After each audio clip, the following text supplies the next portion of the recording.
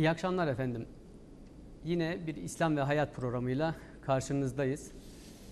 İslam ve Hayat programı bildiğiniz gibi Afyonkarahisar Üniversitesi İslam İlimler Fakültesi'nin hazırlayıp sunduğu ve bundan sonra da farklı konu ve konuklarla daha çok dini içerikli konu ve konuklarla karşınızda olmaya devam ediyoruz. Bugün de yine e, çok değerli bir konuğumuz var. İslam İlimler Fakültesinden Temel İslam Bilimleri Anabilim Dalı Başkanımız Doçent Doktor Ahmet Emin Seyhan hocamız bizlerle birlikte. Hocam hoş geldiniz. Hoş bulduk Emin Bey. Teşekkür ediyorum. Nasılsınız hocam? Sağ olun. Allah razı olsun. Evet hocamızla bugün e, kendi alanı hadis hocamızın onun içinde e, bugün belki de nasıl yaşanılması gerektiği konusunda bir takım tereddütler olan sünnet, e, nübüvvet konularını işleyeceğiz. Sünnetin dindeki yeri nedir? Nübüvvet nasıl anlaşılmalıdır? Peygamberler niçin gönderilmiştir? Hikmeti nedir?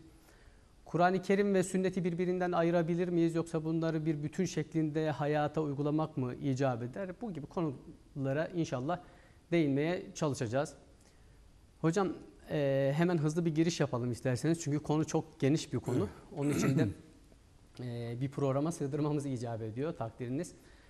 E, isterseniz önce sünnet konusuna geçmeden önce sünnetin kaynağı olan çünkü bizim kadim literatürde sünnet Hazreti Peygamber aleyhissalatü vesselamın veya diğer peygamberlerin söz, fiil ve takrirleridir diyebiliyoruz biz e, e, sünnetin tanımını. Onun için de sünneti konuşmadan evvel peygamberi konuşmak icap eder. Allah Celle Celaluhu ilk insan ve ilk peygamber Hazreti Adem'i Safiyullah'ı yarattıktan hemen sonra hemen bütün kavimlere peygamber gönderme ihtiyacı hissetmiş. Ee, neden peygamber e, gönderme durumu ortaya çıkmış? Peygamberlerin gönderilme hikmeti nedir? Sadece kitap e, kitabı diğer insanlara tebliğ etmesi için mi peygamber göndermiştir? Yoksa farklı fonksiyonları var mıdır? Ya da insanlar içerisinden peygamberler seçilirken hangi kriterler göz önünde bulundurulur hocam? Teşekkür ediyorum Emin Bey. Sağ olun. Ben de e, Kanal 3 izleyenlerini sözlerime başlamadan evvel saygıyla selamlıyorum. E, peygamberlerin gönderilmesi Allahu Teala'nın bir lütfudur, fazlıdır, keremidir. Eğer Allahu Teala biz insanlara peygamber göndermese idi bizim belki itiraz edebileceğimiz noktalar olabilirdi. Ancak şu an itiraz edebileceğimiz kendisine herhangi bir açık kapı yok. Neden? Çünkü Allahu Teala kendi içimizden bizim gibi olan bir insanı peygamber olarak seçiyor. Ona Cebrail vasıtasıyla bir e, vahide bulunuyor, bir kutsal kitap veriyor. Daha sonra da bu peygamber bize yaşantısıyla örnek oluyor. O nedenle Allahu Teala lütfunun, fazlının, kereminin, rahmetinin bir sonucu olarak insanlar doğru yolu bulsunlar. Karanlıklar içerisinde bocalamasınlar, yanlış yönlere gitmesinler diye peygamber göndermiştir ve biz bu peygamberleri gerçek manada anlar, tanır ve onların gösterdiği yolda gidersek Allahu Teala'ya yakın oluruz. Zaten konuyla ilgili ayeti kerime var. وَمَا كُنَّا مُعَذِّب۪ينَ حَتَّى نَبْعَثَ رَسُولًا Biz hiçbir kavme peygamber göndermedik ki onlara zul, zulmetmiş olalım. Yani biz hiçbir bir kavme peygamber göndermedikçe asla zulmetmeyiz. Ki peygamber de gönderildiğini biz biliyoruz. Şu an dünyada bulunan bütün kavimlere Allahu Teala kendi içlerinden bir peygamber göndermiştir. Ama zamanla o peygamberin getirdiği tevhid öğretisinin içine şirk karışmıştır ve şu an incelediğimizde bütün yaşayan dünya dinlerini içlerinde tevhid kırıntılarına rastlıyoruz ama büyük oranda şirke batmış. İşte ilk e, insanlardan itibaren gelen vahyin genel adı İslam'dır. Son Hz. Muhammed'le bu vahiy gönderme süreci tamamlanmıştır. 6236 ayetten müteşekkil Kur'an-ı Kerim'de de Allahu Teala biz insanlara bundan sonra izleyeceğimiz yolu en güzel şekilde göstermiştir. Peygamberimiz de bunun örnekliğini ortaya koymuştur. Zaten ayeti kerimede de لَقَدْ كَانَ لَكُمْ ف۪ي رَسُولِ اللّٰهِ اُسْوَةٌ حَسَنَةٌ Allah'ın Resulü'nde, Allah'ın elçisi Hazreti Muhammed'de sizin için örnekler vardır diyor. Yine bir başka ayette eğer siz gerçekten Allah'ı seviyorsanız bana tabi olun ki Allah da sizi sevsin şeklinde bir uyarıda bulunmasını peygamberimizden istiyor. Dolayısıyla Peygamberler göndermesi Allah'ın bir lütfu keremidir. İyi ki peygamberler gönderdi. Bizim artık Allahu Teala'ya itiraz edebileceğimiz hiçbir nokta yok. Sadece o peygamberleri doğru tanıma meselesi var. Ee, bununla ilgili yani peygamberimizi acaba ne kadar doğru tanıyoruz? Ee, sorunuzun sanırım cevabını verebildim mi? Eyvallah, fazlasıyla. Veremediysem hemen e, bu, benim- o konuya da geçebilirim. Ben, ben şöyle anladım hocam.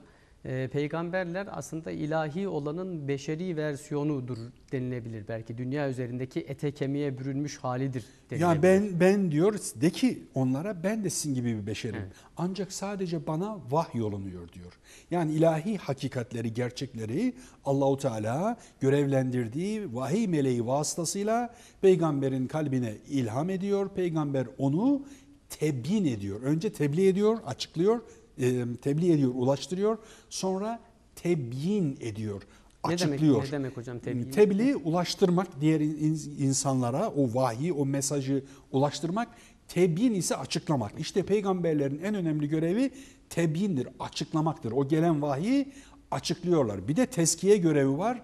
Arındırmak, geliştirmek o toplumu, o insanları e, her yönden geliştirecek e, mesajları, bilgileri de peygamberler o kavimlere, o topluluklara, o arkadaşlarına e, kendisine inananlara anlatıyor ve onların en güzel şekilde yetişmesi için de elinden geleni yapıyor. Öyleyse e, Allah Celle Celaluhu peygamberleri gönderirken sanki diğer insanlara bakın bunun da iki gözü var, iki kulağı var, sizin gibi yiyor, içiyor, uyuyor. E, bu kulum kendisine gönderilen tebliği uygulayabiliyor, davranış boyutuna ulaştırabiliyorsa öyleyse siz de mazeretsiz bir şekilde ulaştırabilirsiniz. Çünkü aynı bünyeye sahipsiniz, aynı bedene sahipsiniz demek için. Eğer zaten yeryüzünde melekler yaşasaydı biz melek peygamber gönderirdik diyor Allah Evet. Teala. İnsan yaşadığı için insanların içinden bir peygamber seçildi. Şunu da söyleyelim. Dünya tarihi öyle 7000 yıl, 12 bin yıldan beri insanlar dünyada var diye bir şey yok. Belki yüz binlerce yıldan beri insanlar var. Bilimsel gelişmeler arttıkça bunlarla karşılaşacağız. Kur'an'da bununla ilgili şu kadar yıl diye hiçbir şey söylenmez. Bu tahrife uğramış Yahudilik ve Hristiyanlığın kutsal kitaplarında bu tür bilgiler mevcuttur. O tür bilgilere bakarak bugün Göbekli Tepe'de çıkan bir takım arkeolojik kazılarda çıkan 12 bin yıl veya 15 bin yıl önceki kazılarda bulunan şeylere bakarak dinlerinde içi boşmuş kimse diyemez. Çünkü Kur'an'da böyle bir şey yok. Ama bir takım bir takım İsrailiyat ve Mesihiyat dediğimiz Yahudi ve Hristiyan kültürüne ait mitolojilerde, efsanelerde bunlar var. E, Bunlar da zaten rivayet adı üstünde. Kur'an'daki ayetler bizi bağlar. Kur'an'daki ayetlerin doğru anlaşılması bizi bağlar. Diye kısaca peygamberlikle ilgili bunu söyleyeyim. Dilerseniz sünnet ve hadisin tanımına geçebilirim. Ee, şöyle ona geçmeden önce ben biraz önce e, Kur'an-ı Kerim'den bir ayete işaret ettiniz. Dediniz ki e, Allahü Teala'nın peygamber gönderme hikmetinden bir tanesi de şu insanların itiraz etme etmesinin önünü kapamak biraz da değil mi? Yani e, eğer melek göndermiş olsaydı insan peygamber yerine Tabii. o zaman e, diyeceklerdi ki ya o bir melek biz nasıl onunla Tabii. yarışalım onun Biz gibi namaz kılalım alalım? onu nasıl örnek alalım ama insanoğlunun hocam bu e, muteriz tavrı diyelim yani itiraz etme meyli e, bu şekilde de önü alınmış değil çünkü insanoğlu bu sefer de tam ters yönden bir itirazda bulunuyor diyor ki yani niye bir insandan bir peygamber yani eğer peygamber olacaksa, tebliği e, gerçekleştirecek, tebliğini gerçekleştirecekse bizden daha üstün bir varlık olmalı değil miydi? E, sorusunu soruyor. Tam burada işte sizin bahsettiğiniz o beyan var ya tebyin dediğimiz şeyin aslında izleyicilerimizin de net bir şekilde anla- anlaması açısından bunu konuyu açıyorum. Beyan dediğimiz şey sadece sözle gerçekleştirilen bir şey değil sanki. değil Tabii, hocam? tabii. Onun için peygamberlerin sadece sözlerini değil biz davranışlarını da sünnet olarak algılıyoruz. Evet, peygamberlerin davranışları bu anlamda bizim için bağlayıcıdır. Tabii sünnetin bağlayıcılık konusuna da belki gireceğiz. Onunla da ilgili çeşitli tasnifler var ama yani insan oğlunun itiraz edebileceği hiçbir nokta yok. Müşriklerin peygamber algısında melek peygamber bekliyorlar. E, olmaz. Çünkü e, e, insan peygamber Allahu Teala gönderiyor ve o peygamberler de imtihan oluyor. Şöyle ki şimdi bazı insanlar e, çocuğunu kaybettiğinde isyan ediyor. Beni mi buldu filan şeklinde. İyi de arkadaş Bizim peygamberimiz son peygamber Hazreti Muhammed Mustafa 6 tane çocuğunu kendisi hayattayken toprağa verdi. 6 kez evlat acısı yaşadı. İlk eşi Hazreti Hatice'yi kaybetti. Amcasını kaybetti. Zaten doğmadan önce babası ölmüştü. 6 yaşındayken annesini kaybetti. Dişi kırıldı, yüzünden yaralandı. 17-18 defa suikast teşebbüsüne maruz kaldı. Geçtiği yollara dikenler döşendi. Taşlandı Taif'te. Sırtına deve işkembesi konuldu ama o hiçbir zaman idealinden vazgeçmedi. Kavmin bilmiyor. Onlar bilmeden böyle yapıyorlar diye onlara son derece şefkat ve merhametle yaklaştı. Yani o da bir insandı. Hala bunu insanlar anlamıyorlar. Hazreti Muhammed'i yarı tanrı zannediyorlar. Melek zannediyorlar. O bir insandı. Göreviyle ilgili asla hata yapmamıştır. Göreviyle ilgili bir hatası olsaydı zaten Cebrail anında düze- düzeltirdi. Ama peygamberimizin de insan olarak zelleler olmuştur. Kur'an-ı Kerim'de Allahu Teala onu uyarmıştır. Neden böyle yaptın diye. Yani o da bir insandı. Fakat- Bunu hiçbir zaman unutmayacağız. Ama kendisine vahyediliyordu. Sıradan bir insan değildi. Mükemmel bir insandı. Şair çok güzel bir şekilde ifade etmiş değil mi hocam? Muhammedun beşer, lakin la kel beşer, Bel huve kel yakuti beynel hacer. beynel hacer diyor. Tercüme edin siz Arapçasınız. Estağfurullah tercüme edelim. Muhammed bir beşerdir fakat bir e, normal bir Sıradan insan bir gibi beşer sıradan değil. bir beşer de değildir. Onu tanımlarken şöyle tanımlarız biz. E, diğer taşların, basit taşların arasındaki yakut gibidir. Taş olma özelliği açısından yakut, da aynı özelliğe sahiptir. Ama ama değer açısından bakarsanız e, yakut diğerlerinden tabii ki daha değerlidir. Ama Emin Bey onu olgunlaştıran da işte o yaşadığı acılar oldu.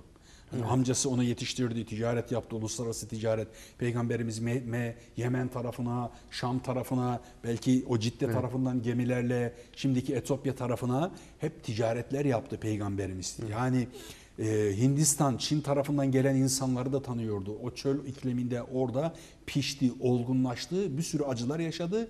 Kendisi ondan sonra vahiy alma sürecinde Hira mağarasındayken düşünürken, tahammüs ederken ben ne yapabilirim bu insanlık için derken Allahu Teala son peygamber olarak onu seçti. O da görevini hakkıyla tamamladı ve aramızdan ayrıldı. Yani özetle şunu söylüyorum. Peygamberimiz bir insandı. Bunu söyleyeyim. Şimdi hadis konusuna gelecek olursak ben hadisle ilgili şunu söyleyeyim. Hadis peygamberimize nispet edilen söz, fiil ve davranışlardır. Aidiyeti kesin değildir. Hadislerin de kategorisi vardır. Sahih hadis, hasen hadis, zayıf hadis, mevzu hadis, uydurma hadisler. Şimdi hadislerin tamamını reddeden e, bir yaklaşım var. Bunlar son derece yanlış yapıyorlar. Hadisleri toptan reddedemezsiniz. Hadislerin içerisinde uydurma hadisler var diye siz nasıl olur da bütün hadisleri yok sayarsınız? Böyle bir şey mümkün mü? Olmaz. Şimdi hadisin tanımını böylece yaptıktan sonra kısaca sünnetin sünnetle ilgili şunu söyleyeyim. Bir benzetmeyle söyleyeyim. Sü- e, Peygamberimizin sünnetini şuna benzetebiliriz. Mesela bir konferans verdik diyelim. O konferansta kurduğumuz cümleler hadis ama o konferans sonucunda orada verilen mesajlar sünnettir. Yani sünnet peygamberimizin Kur'an'ı anlama çabasının bir sonucudur. Kur'an'la sünnet etle tırnak gibi ayrılmaz bir bütündür. Kur'an gonca ise sünnet onun açılmış gül halidir. Ve peygamberimiz bu sünneti yaşamıştır. Bugün çıkıp da bize sünnete, hadise ne gerek var diyenler maalesef yanılıyorlar. Onlar bazı gerçeklerin farkında değiller. Kendilerine verdikleri o yetkiyi maalesef peygamberimize vermiyorlar. Yani peygamberin Kur'an'ı açıklama yetkisi yok, sünnet. Ee, Ama bunların var. Öyle şey olmaz. Sünnet peygamberimizin Kur'an'ı anlama çabasının bir sonucu. Peygamberimizin davranış tarzı. Sünnetin bireysel yönü var, toplumsal yönü var ve evrensel yönü var.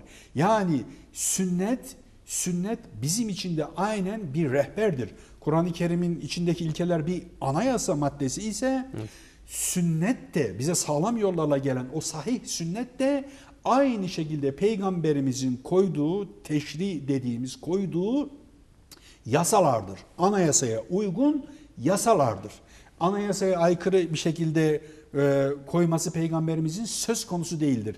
Peygamberimiz doğru bir şekilde yasa, yönetmelik, kararname ortaya koydu da daha sonra bu ravilerle gelirken bir takım sıkıntılara uğramışsa o yol baş, boyu başına gelen kazayı hadis alimlerini diğer alimler tespit ederler, ortaya koyarlar. Bu peygamberimizin sahih sünneti değildir. Burada bir yanlış anlaşılma vardır der, tasih ederler, düzeltirler. Yoksa toptan süpürüp reddetmezler sünneti ve hadisi. Şimdi tam burada- O yüzden Kur'an ve sünnet bağlayıcıdır. Sahih sünnet bizim için bağlayıcıdır. Bağlayıcıdır. Şimdi sünnet nedir derseniz örneklerle açıklayabilirim. Eyvallah. Şimdi e, hocam zaten tarif ettiğiniz e, anlaşılır bir şekilde de e, burada iki uç nokta var sanki sünnetin anlaşılması noktasında. E, bahsettiğiniz gibi e, gelen mervi e, açısından değerlendirdiğimizde, gelen haber açısından değerlendirdiğimizde ya bunun ravisinde şöyle bir sıkıntı var ya da bu burada lafızda şöyle bir sıkıntı var. Onun için de bu e, zayıf hadistir ya da mevzudur e, şeklinde bir e, yargıya gidildiğinde özellikle ilahiyatçılar için siz hadis e, üstadları için çokça e, yaftalanan bir şeydir bu. Ya bu hoca da hemen hadisi reddediyor canım, sünneti reddediyor Evet. e, şeklinde yorumlar yapılıyor. Bunun da ötesinde e, bir taraf var. E, çer çöp hadis adına, sünnet adına ne bulduysa cebine doldurup rivayette bulunuyor. Peygamberimiz şöyle demiştir, peygamberimiz böyle demiştir şeklinde. Öbür taraftan bir grupta var toptan reddetme yoluna gidiyor. Burada ara yolu nasıl bulacağız hocam?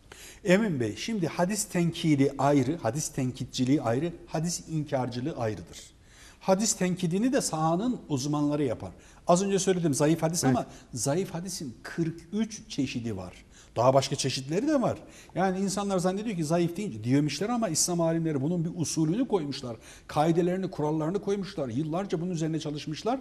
Bir kuyumcu titizliğiyle hadisçilerin o rivayetleri çok güzel bir şekilde inceleyip o çamurun, toprağın, tozun toprağın içine batmış altın ım, taneciklerini toparladığı gibi e, insanların altınları arayanların kuyumcu hassasiyetiyle bizim de o hadisler içerisinden sayı olanlarını seçmemiz lazım. Bunu uzmanlar yaparsa buna hadis tenkidi diyoruz ve caizdir uzmanlar yaparsa. Ama bir de hadis inkarcıları var. Toptan reddediyorlar. Uydurma rivayetlere bakıyorlar. Peygamberimizin söylemesi mümkün olmayan, gerçekten mümkün olmayan bir takım rivayetlere bakıyorlar. Onları zaten biz de reddediyoruz. Peygamber buysa, peygamber böyle şeyler söylemez diye toptan bütün hadisleri reddediyorlar. İfrat ve tefrit arasında kalıyorlar.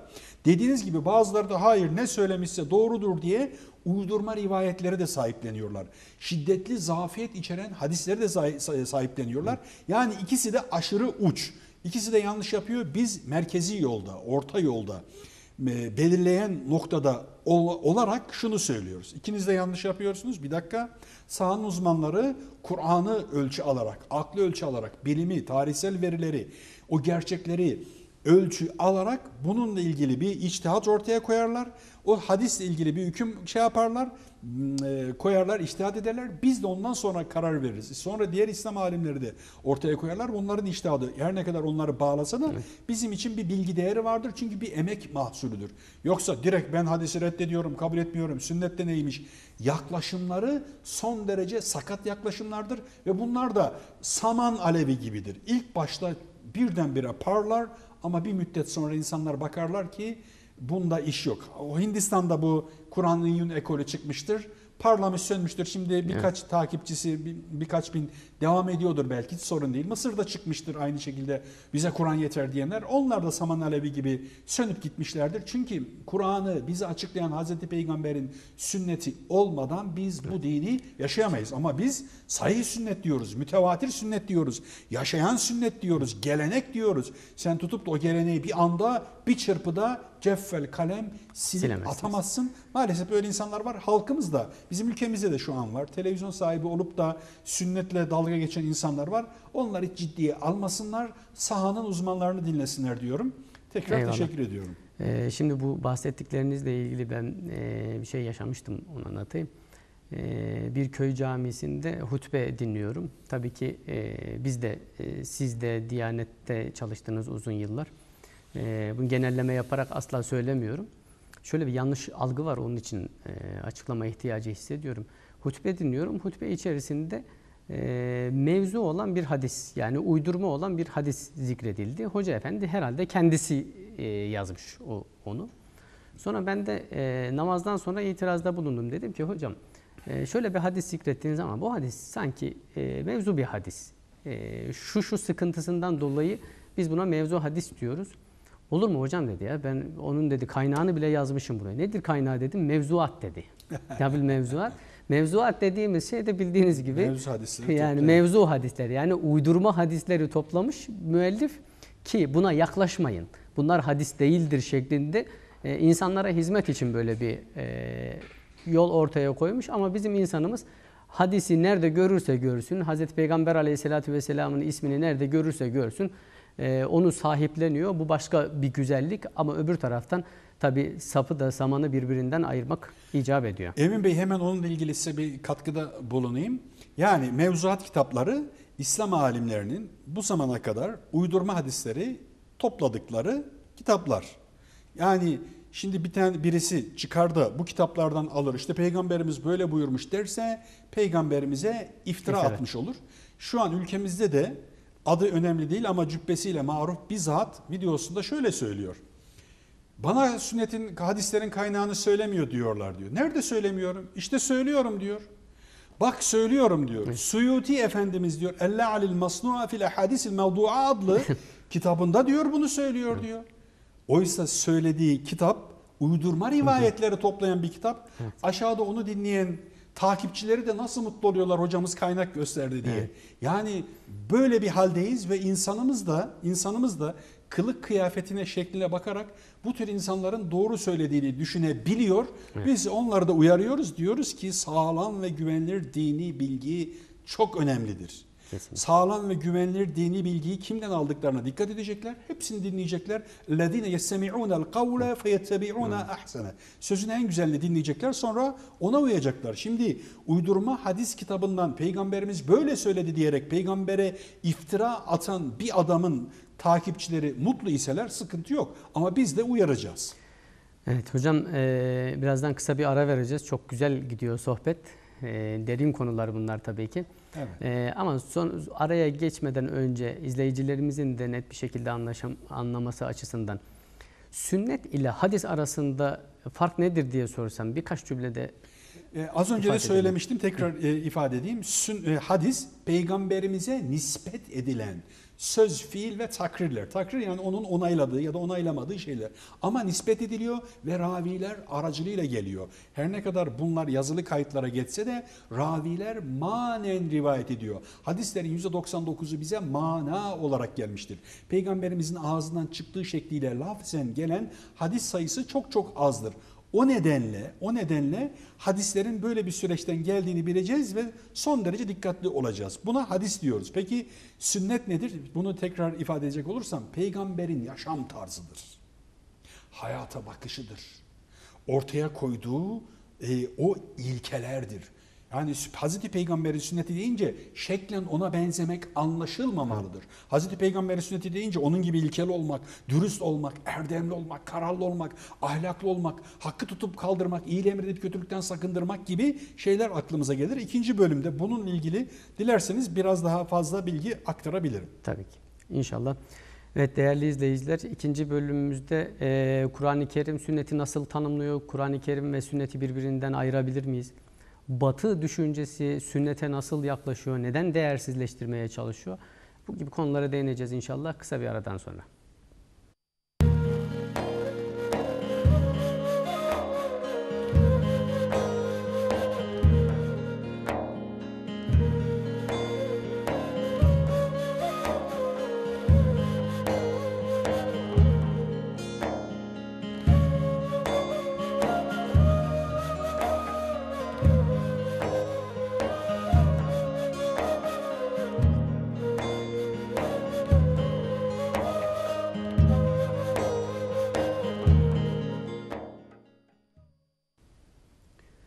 Evet, İslam ve Hayat programının ikinci bölümüyle birlikteyiz. Bugün e, konuğumuz Afyon Kocatepe Üniversitesi İslam İlimler Fakültesinden Temel İslam Bilimleri Ana Bilim, Tam- Temel İslam Bilimleri Bölüm Başkanımız Sayın Doçent Doktor Ahmet Emin Seyhan hocamız.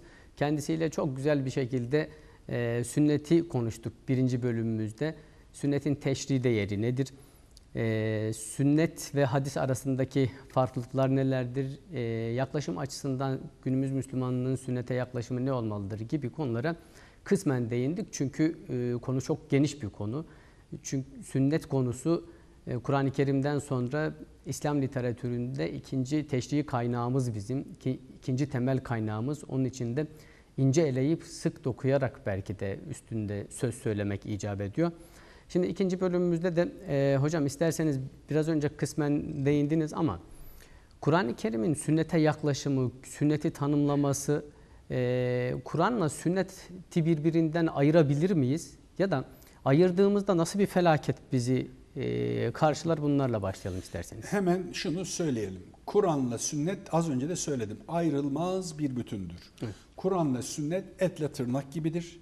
Kur'an gonca ise sünnet onun açılmış gül halidir. Peygamberimiz onu yaşayarak temsil etmiştir, tebliğ etmiştir, tebyin etmiştir. Müslümanları da tezkiye etmiştir, arındırmıştır. Onlara en güzel üsve-i hasene yani güzel örnek olmuştur, rol model olmuştur. Ama sünneti de doğru anlamak gerekiyor. Peygamber bu sözü nerede, ne zaman, kime, niçin, hangi amaçla, hangi maksatla söyledi?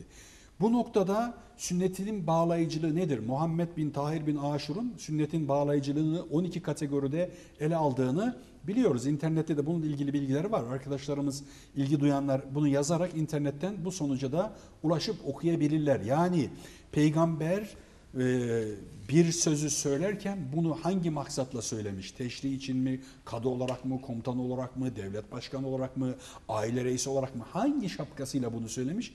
Bunların da tespit edilmesi önemli. Bir de bakın sünneti maalesef e, yanlış anlıyoruz. Nasıl yanlış anlıyoruz? Müslümanların sünnet tasavvurunda çarpıklıklar var. Yani şeklen peygamberimiz gibi yemek yemeyi, yerde oturmayı, onun gibi giyinmeyi sünnet zannediyorlar. Sünnet bu değil. E nedir hocam?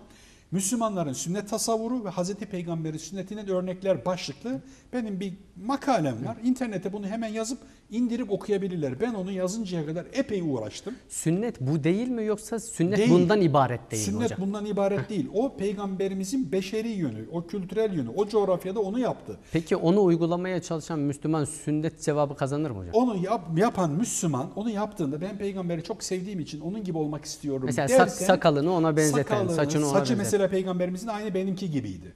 Şu an millet garipsiyor ama peygamberimizin saçları omuzlarına kadar indiği kaynaklarımızda mevcut. Evet.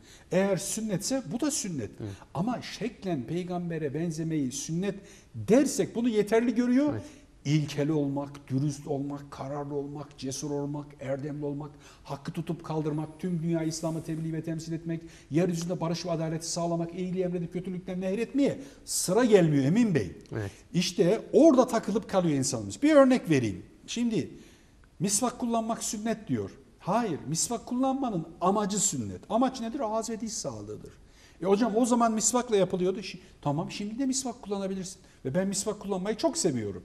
Neden? Çünkü 10 çeşit faydası var. Ama misvağın kendisi sünnet değil. O bir araç. Amaç sünnettir. Peki amaç nedir? Ağız ve diş sağlığıdır. Yani Müslümanlar günde 5 defa ağızlarını tertemiz yapmak zorundadırlar. Çünkü mikroplar en çok orada oluşur, ürer. O yüzden orayı temiz tutmalıdırlar. Peygamberimiz ağız ve diş sağlığına bu açıdan çok önem Size vermiştir. zorluk olmasaydı emrederdim. Emrederdim bir rivayet hadis var. Yani dişlerimizi temiz tutacağız. Sünnet dişleri temiz tutmaktır. Evet.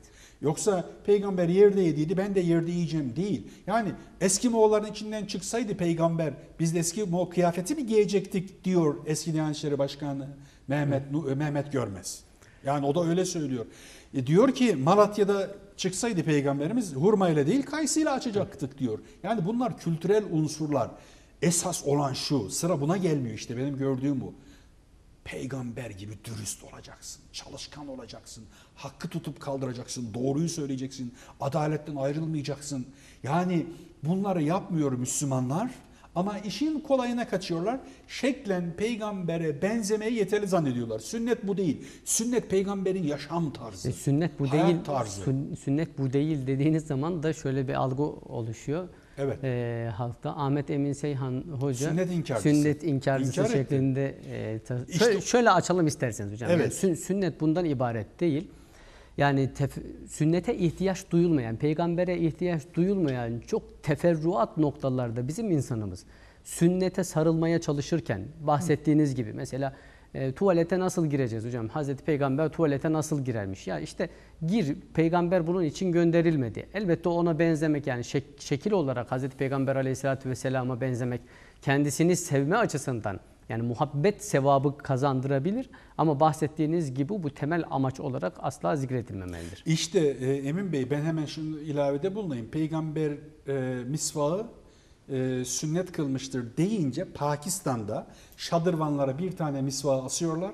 Gelen aynı misvaktan dişini temizliyor, temizliyor. Sünnet budur diye. Fas'ta da aynısını yapıyorlar. Afganistan'da da aynısını yapıyorlar. Sünnet anlayışları çarpıklaşıyor. Peygamberi doğru tanıyamıyorlar. Ondan sonra hepatit C, hepatit B, işte al koronavirüs daha bir sürü hastalıkları geçecek insanlara Bunlarla uğraşırken asıl sünnete kaybediyorlar. Evet. İşte bakın üç taşla taharet etmek sünnettir diye Pakistan'dan gelen ulemalar, ulemamız İstanbul'daki üç günlük sempozyumdan sonra giderken tuvaletleri tıkandı. Neden? Gelirken taşlarını getirmişler. Taşla taharet sünnettir diye. Ya o çöl ikliminde su bulamadıkları için taşla taharet ediyorlardı. Ama bugün kağıt var, su var. İslam pırıl alemi değil mi Tabii yani sünneti o o peygamberimizin taharetlenmesinin gayesi, amacı, maksadı, hedefi bilinmezse sünneti de doğru anlayamıyoruz. Yani peygamberimiz bunu neden yaptı, niçin yaptı, amacı neydi? Bunu çok iyi tespit edeceğiz. Bunu da alimler tespit edecek. tekrar tekrar şunu o zaman vurgulayalım izleyicilerimize. Ee, bizim maksadımız e, bu işle iştigal edenler olarak sünneti asla değersizleştirmek değil, asıl maksadının olduğu. Tabii. Çünkü peygamberlerin gönderiliş amaçları vardır. Ee, o amaçlardan en e, başta geleni de toplumu ıslah etmek. Öyle değil mi hocam? Tabii. Fesat, fesadı ortadan kaldırmaktır. Burada Hz. Peygamber aleyhissalatü vesselamın sünnetini tespit etmeye ya da tahlil etmeye çalışırken önce namazdan sonra kaç defa Subhanallah diyeceğiz şeklinde teferruat noktalardan değil de Hz. Peygamber aleyhissalatü vesselam hiç yalan söylemiş midir? Ee, efendim hiç hıyanette bulunmuş mudur? Hiç devletine karşı gelmiş midir? şeklinde daha Evet. genel e, yaklaşımlarla sünneti tahlil etmekte fayda var. Peki hocam e, biz değersizleştirmiyoruz dedik sünneti. Hemen Peki, orada hemen araya gireyim siz sorunuzu sormadan Emin Bey. E, şimdi bu adam böyle söyledi deyince ya ben yanlış mı anladım? Dur şu adamın internette videoları var, YouTube kanalı var, kitapları var, makaleleri var, internet sitesi var. Bir gireyim de bakayım diyecek. Evet. Bakacak doktora Onlar zor ama hocam. Doktora tezine bakacak. Anam adam Kur'an ve sünnet diyor. Evet. Doçentlik tezine bakacak o da internet. Kur'an ve sünnet diyor. Makalelerine bakacak. Kur'an ve sahih sünnet, Kur'an ve Kur'an ve sahih sünnet, sünnet sünnet diyen bir adam sünnet inkarcısı olabilir mi? O yüzden e, biz Kur'an bize yeter diyenlerin de yanlış yaptığını söylüyoruz. Eyvallah. Onları da uyarıyoruz. Sünnet olması olmaz. Ama sünneti doğru anlamak lazım. Evet. Eyvallah hocam.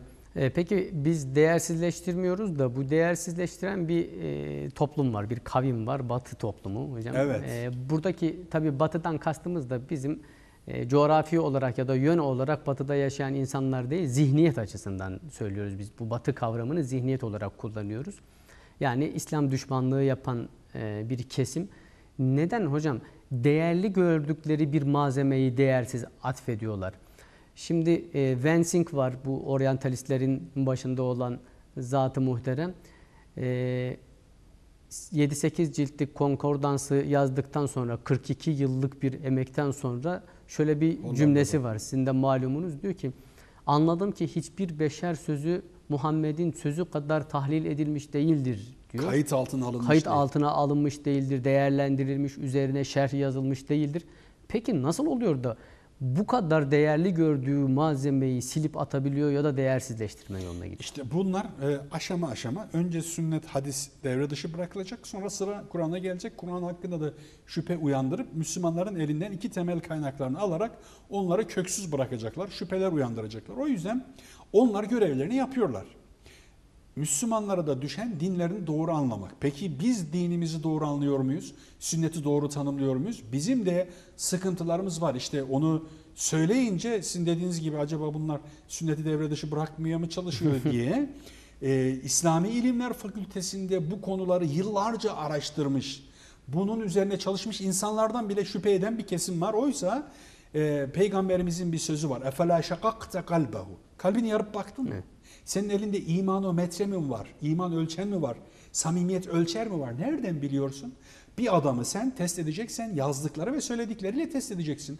Adamın yazdıkları ortada sen hemen direkt reddediyorsun. Oryantalistler görevlerini yapıyorlar. Peki oryantalistlerin ürettikleri o bilgilere karşı İlahiyat Fakültesindeki akademisyenler de, İslam İlimler Fakültesindeki akademisyenler de karşıt bildirileri, tebliğleri, kitapları, çalışmalar, akademik araştırmaları ortaya koyduklarında bundan memnun olmaları gerekenler maalesef İlahiyat Fakültelerini gözden düşürmek için oryantalistlerin uşağı şeklinde İlahiyat Fakültesindeki bazı hocaları da itibarsızlaştırmaya çalışıyorlar. İlahiyat Fakülteleri tabii ki e, tek bir ses değil. Orada bir sürü akademisyen var ve hepsinin ulaştığı farklı sonuçlar var. Ama hepsinin niyeti halis. İçlerinden birkaç tane yanlış çıkan yapan olabilir. Onlara bakıp da bütün bir camiayı karalamak doğru değildir. Ordunun içerisinde, emniyetin içerisinde ya da milli eğitim camiasının içerisinde ya da üniversitelerin içerisinde birkaç kişi yanlış yaptı diye tüm camiayı suçlamak yanlıştır. Bir çuval cevizin içinde 3-5 tane çürük ceviz var diye bütün cevizler çürüktür diyemezsiniz. Bütün ilahiyat fakültelerini gözden düşürmeye çalışamazsınız. Böyle yaparsanız olmaz. O yüzden oryantalistler yani batılı İslam araştırmacıları görevlerini yapıyorlar. Çok da güzel çalışıyorlar. Adamlar çok da sinsi. Ama bunlar çalışırken biz onlara sadece sövmekle, kızmakla, bağırmakla bir yere varamayız. Onlardan daha kaliteli bilimsel ürünler ortaya koymak zorundayız. Mücadele ancak bu şekilde olur. Akıllı olur, ikna ile olur, sağlam bilgilerle olur. Fuat Sezgin hocamız bunu yapmıştı. Bugün de geleceğin e, araştırmacıları aynı ciddiyetle çalışıp ortaya hadis konusunda, sünnet konusunda güzel çalışmalar yapmalılar diye ifade etmiş olayım. Eyvallah. Yani 15 asır sonra Hazreti Peygamber Aleyhisselatü Vesselam'dan 15 asır sonra neredeyse e, hala belki de Batılıların eserlerini kullanıyoruz değil mi? Yeri geldiğinde biraz önce Evet. bahsettiğim gibi. Tabii ama son yıllarda sevindirici de bir nokta var. İslam coğrafyasında da çok kaliteli e, eserler ortaya İnşallah, konuluyor. Çok inşallah. Kaliteli olacak çalışmalar inşallah. yapılıyor.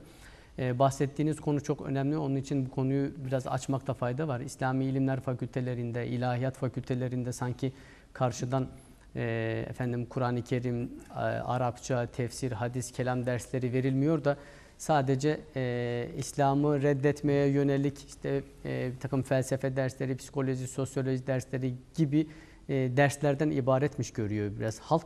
Onun için de işte e, sapkın Müslüman profili yetiştiren kurumlar olarak görüyor bir cenah öyle maalesef. Bunun böyle olmadığını e, ilahiyat fakültelerinde, İslami ilimler fakültelerinde Kur'an endeksli, sünnet endeksli ilimlerin e, orada tedris edildiğini bir kere daha izleyicilerimizle paylaşalım. Evet. Evet e, hocam e, biraz önce bahsettiniz sünnet ve hadis ayrımında. Hazreti Peygamber Aleyhisselatü Vesselam'ın Kur'an-ı Kerim'de tanımlamasına baktığımızda bir beşeri yönünün bir de nebevi yönünün bulunduğunu görüyoruz. Yani bir insani olarak değerlendiriliyor, eşlerinden bahsediyor, aile hayatından bahsediyor. Ee, Hazreti Peygamber Aleyhisselatü Vesselam'ın yanına girerken nasıl gireceğimizden, kendisine nasıl sesleneceğimizden bahsediyor. Bunlar beşeri yönü olarak değerlendiriyoruz. Bir de nebevi yönü var ki o da teşri yönüdür, şari yönüdür aynı zamanda. Yani kural koyan, hüküm koyma yetkisine sahip olan yönü var. Bu iki yönünü Müslümanlar nasıl ayırt etmeliler? İşte bu yön e, konusunda da yapılmış pek çok çalışma var. Ee, Müslümanlar okuyacaklar ya da tem- doğru kaynaklardan beslenecekler. Şimdi ben temiz ve sağlıklı su içersem vücudumda sağlıklı olur. E şimdi temiz doğru dini, güvenilir doğru dini bilgi alırsam güvenilir kaynaklardan o zaman hayata bakışımda, sünneti anlamamda, İslam'ı anlamamda, Kur'an'ı anlamamda kolaylaşır. Ama ben çağının zihinsel atıklarıyla beynini çöplüğe dönüştürmüş bir adamdan dinimi öğrenmeye çalışırsam o zaman pek çok hastalıkla, manevi hastalıklarla karşılaşmam kaçınılmaz olur. Hangi kaynaklardan araştırmalılar? Yani e, bir kaynak öneremiyoruz. Dedik ya pek çok insanı dinleyecek, araştıracak, bakacak ama kafasında da sağlam kriterler olacak. Kafasında enkaz yığını varsa, kafasında yanlış bilgiler varsa önce onları düzeltecek, tasih edecek. Değilse bizim anlattıklarımızı o kafasındaki eski yanlış yanlış bilgilere göre tartmaya, elemeye, ölçmeye, değerlendirmeye çalışırsa bizi de anlamayacaktır. Ölçü ne olacak? Ölçü Kur'an ve sünnet olacak. Akıl olacak, bilim olacak, tarihi veriler, tarihi tecrübeler olacak. Akıl deyince insanlar korkuyor. Ya Kur'an-ı Kerim'de Allahu Teala 750 kadar yerde akletmiyor musunuz, düşünmüyor musunuz diyor. Bizim oradaki kastettiğimiz o akıl, o bağlantıları kuran akıl aklı selimdir, kalbi selimdir, zevki selimdir. Biz bunu kastediyoruz ve bunun da şekil vahyin ışığında akıl. Kur'an'ın temel ilkeleri ışığında çalışan bir akıldan bahsediyoruz. Salt akıldan bahsetmiyoruz. Akılcılığı bu anlamda tabii ki biz de onaylamıyoruz.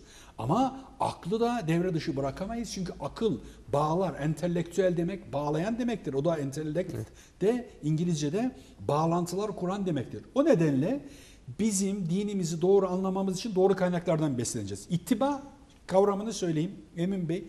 Sizin de alanınız, uzman olduğunuz bir alan Arap dili, edebi Arap dili. İttiba şu demek.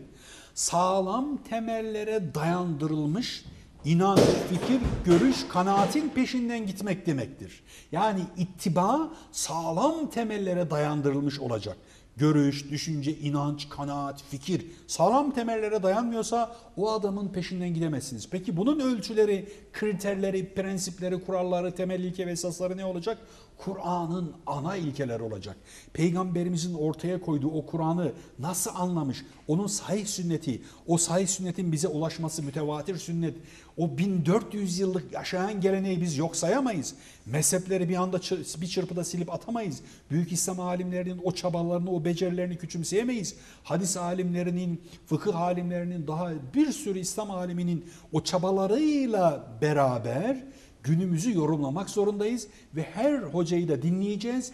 Kiminki en ikna edici, en sağlam, en tutarlı ve ve geçmişte söyledikleri bugün doğrulanmış. Onlara bakacağız. On, o kaynaklardan istifade edeceğiz ve kendimizi sürekli yenileyeceğiz. Kal- Halk da bunu yenilemek zorunda. Kaldı ki onları bile teyit edeceğiz değil mi yeri geldiğinde yani Tabii. asli kaynaklara inebildiğimiz kadar. Evet, yani bu da çok çok önemli. Eleştirmekten, tenkit etmekten çekinmeyeceğiz. Tenkit bir şeyin doğrusunu, hakikatini, gerçeğini ortaya çıkartmak için ortaya konulan çaba demektir. O yüzden tenkit önemlidir. Yani e, tenkitle e, reddetmeyi işte dedim ya karıştırıyoruz. Hadis tenkidine evet, hadis inkarcılığına hayır. Ama hadis tenkidi edenleri de hadis inkarcı diye inkarcısı diye suçlarsanız o insanları siz bir çırpıda silip atmaya kalkışırsanız ayağına sıkan adam gibi Ama olursunuz. yine de şu, şunu da belirtelim hocam yani herkes de hadis tenkidine meyletmemesi. Yapamaz. Yapamaz değil mi? Uzmanı uzman. olacak. Biz bile 33 yıldır bu işin içerisindeyiz. İlahiyat Fakültesi'nde 35 sene önce okurken dedik ki ben bir- birinci sınıftayken hadisçi olacağım dedim. Hala çalışıyorum. Hala bir sürü eksikliğim var. Günde 8 saat, 10 saat, 15 saat çalıştığım anlar oluyor ve ben her şeyi bildiğim iddiasında değilim. Ben bile konuşurken son derece dikkat ediyorum. Bazen öğrenciler de soruyor onu bilmiyorum diyorum. Ama birisi çıkıyor 3-5 tane kitap okumuş. Sanki hadislerin hepsini yutmuş Alimden. gibi peygamberimize çok rahat iftiralar atabiliyor. Oysa peygamberimizin şu hadisini de söyleyeyim ondan sonra herhalde bitireceğiz. Vaktimiz azaldı. Peygamberimiz diyor ki men kezebe aleyye mutaammiden felyetebevve mak'adahu minen nar. Her kim benim söylemediğim bir sözü sanki ben söylemişim gibi bana isnat ederse Güzel bile olsa değil mi hocam? Evet iyi bir, iyi bir isnat bu. ederse güzel dahi olsa bana isnat ederse cehennemdeki yerine hazırlansın diyor. Yani benim otoritemi kimse istismar Yani ben etmesin diyor Bu, peygamberimiz. bu şerhi neden düştüm güzel bile Evet. olsa e, malumunuzdur tarihte en çok hadis uyduranlar e, İyi niyetle iyi, niyetle yani insanları İslam'a çekmek işte efendim namazın önemini kavratmak orucun önemini kavratmak için hatta ve hatta e, yine benim hasbel kader tespitime göre en çok sayısal anlamda en çok hadis uyduranlar vaizler ve kussaslar. Kussaslar evet ben doktora tezimde de onu işaret ettim. Emin Bey bu sizin dediğiniz o uydurulan hadisler şu an kandil gecelerinde sosyal medyada uçuşmaya devam ediyor.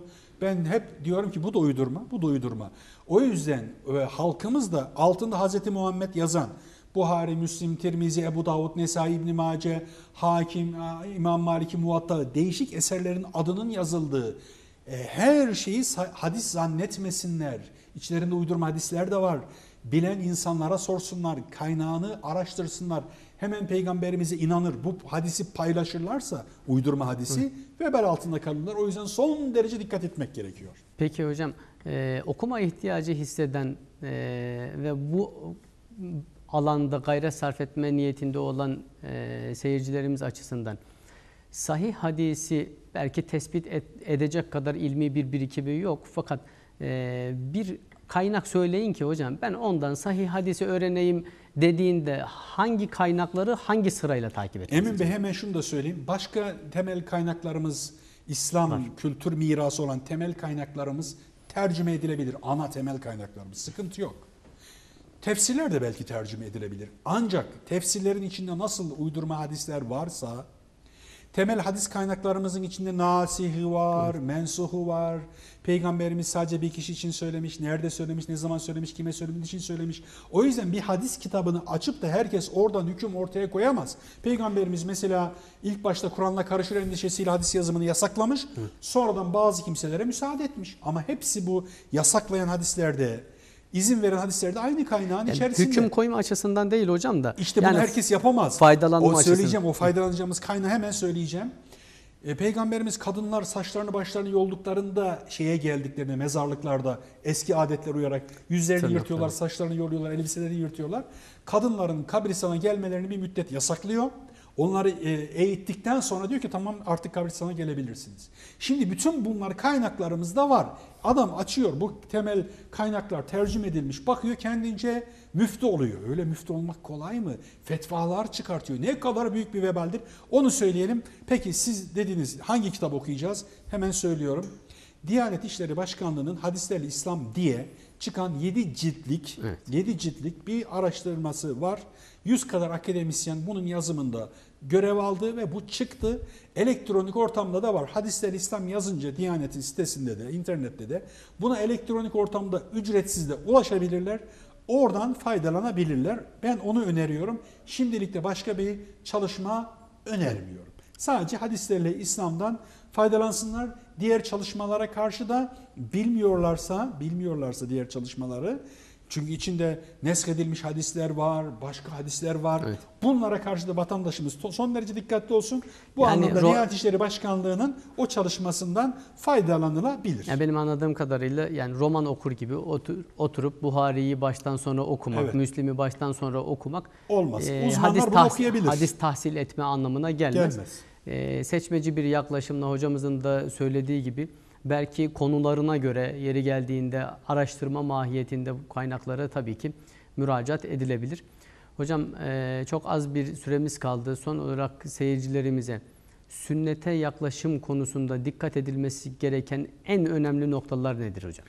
En önemli nokta peygamberimiz bu sözü nerede, ne zaman, kime, niçin, hangi maksatla söylemiş, hangi sıfatla söylemiş, hangi şapkasıyla söylemiş. Peygamber olarak mı, devlet başkanı olarak mı, kadı hakim olarak mı, komutan olarak mı, aile reisi olarak mı, dede olarak mı, baba olarak mı, ara bulucu olarak mı? Niçin? Bunu bilmeden tutup da herkes bu sünnettir diye söylemesin. Sünnet dediğim gibi şekilden ziyade özdür, lafızdan ziyade manadır. Kur'anla sünnet etle tırnak gibi ayrılmaz bir bütündür. Kur'an gonca ise sünnet onun hayata açılmış gül halidir. Peygamberimiz bizim için örnektir. O yüzden peygamberimizi doğru anlayacağız. Şeklen ona benzemeyi asla yeterli görmeyeceğiz. Peygamber gibi ilkel olacağız. Tüm dünyada zulmün ortadan kalkması için çalışacağız. Çünkü peygamberimizin amaçlarından biri de buydu. Müslüman olmanın sorumluluk almak gerektiğini bileceğiz. Hac suresi 22. surenin 78. ayetinde Allahu Teala bütün Müslümanlara bu görevi yüklüyor ve diyor ki tanık model olacaksınız. Şu an dünyada 8 bin farklı dil konuşuluyor. Tüm o insanlara tanık model örnek şahit olacaksınız diyor. Eyvallah Sayın Hocam. Ee, bir de son olarak, hep son olarak diyorum ama hakikaten konu çok geniş. Ee, Hazreti Peygamber Aleyhisselatü Vesselam'ın son zamanlarda e, çokça karşılaştığımız ve içinde bulunduğumuz bir pandemi dönemi var biliyorsunuz. Bütün dünyayı saran bir pandemi dönemi. Hazreti Peygamber Aleyhisselatü Vesselam'ın e, hadisleri ve sünneti ışığında Müslümanlar bu gibi musibetler karşısında nasıl bir tavır takınmalılar? Son derece tedbirli olacaklar. Tedbir ondan sonra tevekkül. Eksik tedbiri yapıp da ondan sonra ne yapalım kaderimiz kimse diyemez. Kaderle ilgili de şunu söyleyeyim. Kaderimiz alnımıza an be an yazılıyor. Saniye saniye yazılıyor. Bizim eylemlerimize, tavırlarımıza, duruşumuza, kişiliğimize, ibadetlerimize, diğer insanlarla olan ilişkilerimize göre kaderimiz an be an şekilleniyor. Alna yazılmış, bitmiş bir kader anlayışla yanlış. O yüzden pandemi sürecinde başarıyla çıkmak istiyorsak her türlü tedbirimizi alacağız. Sonra Allah'a tevekkül edeceğiz. Peygamberimizin bu konuyla ilgili uygulamaları var.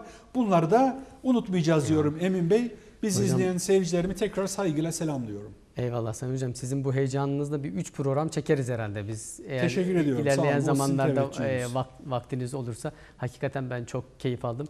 Değerli izleyiciler e, zamanımız burada e, sona erdi. İslam ve Hayat programında bugün sünnetin teşri yönü, e, sünnetin anlaşılması gereken püf noktaları nelerdir? Günümüz Müslümanının sünnete karşı yaklaşımı nasıl olmalıdır? Kısaca anlatmaya çalıştık. Konuğumuz İslam İlimler Fakültesinden doçent doktor Ahmet Emin Seyhan hocamızdı. Kendisine teşekkür ediyoruz ve sizlere de iyi akşamlar diliyoruz.